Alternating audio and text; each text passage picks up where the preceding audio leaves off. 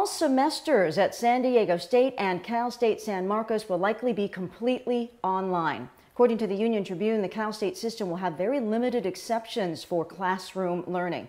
We spoke with a Poway High School senior who was looking forward to beginning her college experience at SDSU in the fall social wise, um, rooming in the dorms, everything that has to offer um, through different programs and clubs, and so many different things that I was looking forward to getting involved in. And SDSU transitioned to online learning last month. Now, Dr. Anthony Fauci says treatments and vaccines probably won't be available in time for the fall semester.